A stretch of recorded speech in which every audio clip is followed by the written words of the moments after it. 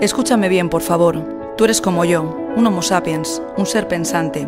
La vida, milagro del universo, llegó hace casi mil millones de años y nosotros hace tan solo 200.000. Y sin embargo, hemos logrado desbaratar este equilibrio tan esencial para la vida.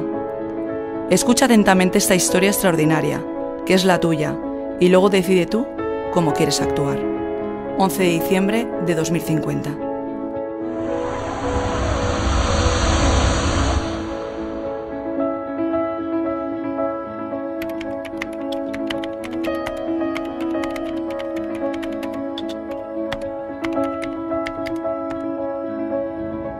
Querida nieta, espero que estés leyendo esta carta con salud, en el auge de tu florecimiento.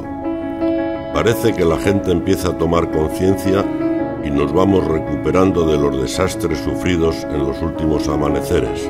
Te escribo principalmente para mantener la esencia de vida, la que yo y todos quienes nos preceden han vivido, y con ello olvidar las destrucciones que contaminaron nuestro pasado. Mi pequeña, no me ha quedado más remedio que recurrir a este escrito porque